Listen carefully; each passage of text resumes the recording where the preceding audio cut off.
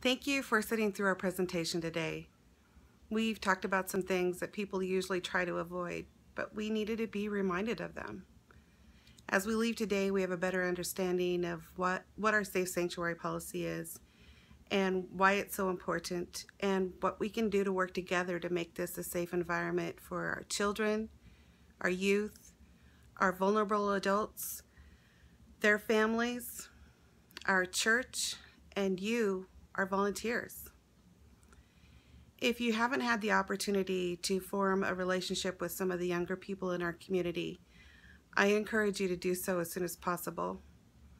We have some of the most amazing kids that come into this church. You will get a joy every time you have a conversation with them. And you learn so much. Did you know that scientists create superheroes either on purpose or from some nuclear accident from a scientist who didn't pay attention in school?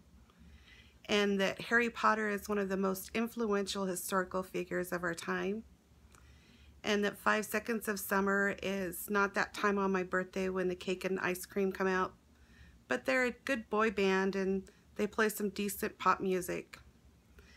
And that zombies can be killed in a multitude of ways and that expired food can still taste good. And a best friend is worth more than all of the money in the world.